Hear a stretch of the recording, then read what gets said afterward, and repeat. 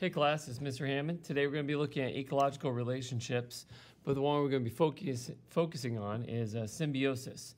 So at the top of your page, go ahead and write symbiosis. Just as a reminder, I'm using a black Sharpie, but I'm going to ask that you don't use a pencil so you can make corrections as you go. I'm just doing this because I want you to be able to see things a little more easily. Draw a black line at the very top blue line, and then you're going to fold your paper in half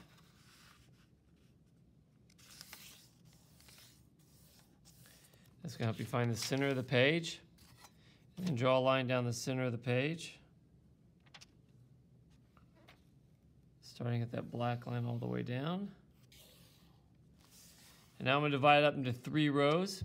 To do that, I'm gonna count the number of uh, lines I have. 1, 10, 11, 12, 13, 14, 15, 16, 17, 18, 19, 20, 21, 22, 23, 24,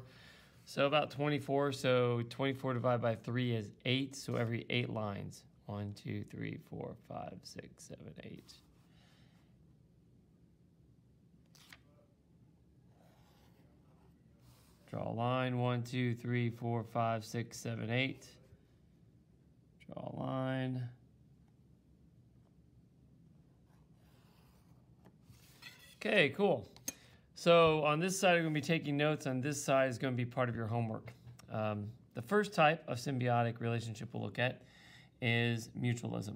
Now, a symbiotic relationship, just let me take a step back here, is any relationship between two species, two, different, two or more different species, in which um, they work together to get their needs met. Now, they can arrive in three different ways. Uh, the first one's called mutualism,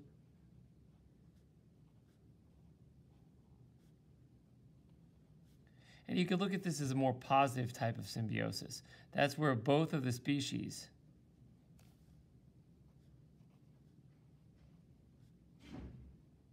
benefit. It's a relationship between two different organisms of different species, and working together, they both get their needs met. So in this case, we're going to give a happy face and a happy face because both species are getting their needs met.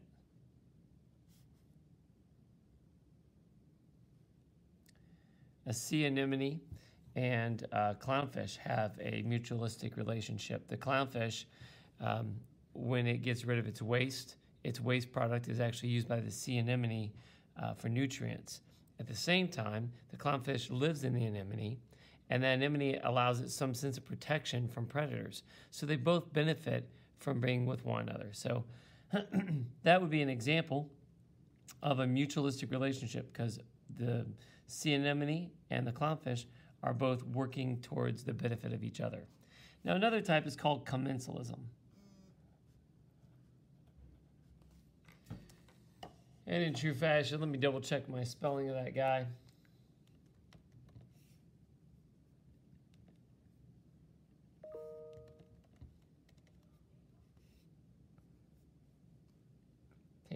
pull my computer up here.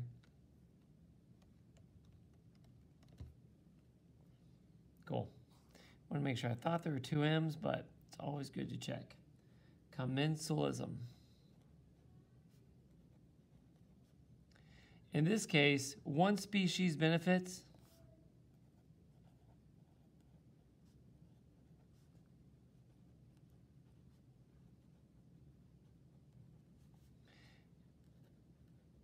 and the other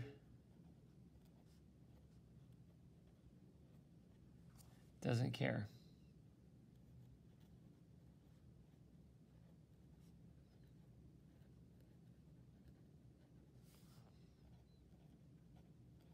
okay? So in this case, you have two different species. One is kind of getting something from the other, but the other one, it doesn't bother them. It doesn't hurt um, or harm them in any way. So in this case, you have one species that's benefiting. Make our smiley face, woohoo, benefit.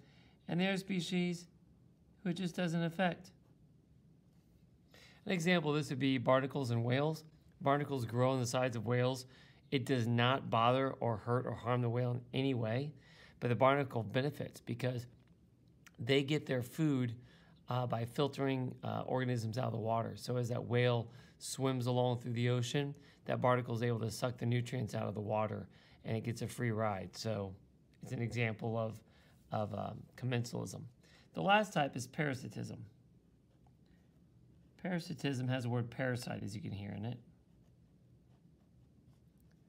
I feel like it's the one that most kids know about. This is where one species benefits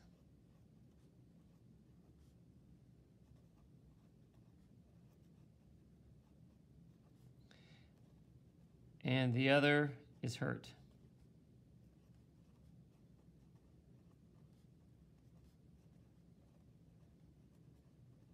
Or harmed. So in this case, as you can imagine, we're going to go ahead and draw a happy face down here. And then we're going to draw a sad face, but he's going to have a chunk taken out of him. So here we have our happy face. Yay, I'm benefiting. And this guy's missing an eye, and he's sad because he got a bite taken out of him. Okay, so benefit benefit is going to be mutualism. Both benefit. It's a mutual um, agreement. Commensalism, one benefits, one doesn't care. And parasitism, one benefits, and one is actually harmed. Now, for your homework, what I'd like you to do is go through, and I'd like you to find an example uh, for each type of symbiosis that we have here on the internet um, I'm going to take my whale barnacle idea and I'd like you to kind of like illustrate and describe it, or you can just go ahead and write a short little like couple sentences about it. That's fine too. Please don't just write down the names of the organisms and call it a day. Give us a description or explain it. So I'm going to go ahead and draw a picture of a whale. So you know me, I like to draw. So for me, it's a way of me connecting. Some of you are that way, some of you are not. That's why if you'd rather just there's the water coming out. And then here's the whale's tail. There we go. I'll put a mouth on the guy. There we are. Here are the barnacles growing on the sides of his face. Here's his eyes. He's a tired whale because he's been swimming a long time today. Okay. Um, so here's my whale. It says, is not harmed.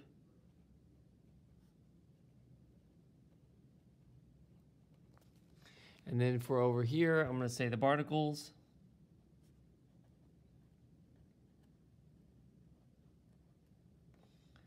Barnacles, um, uh, they benefit.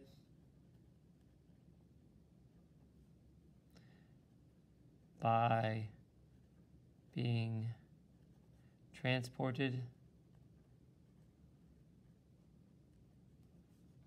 through ocean.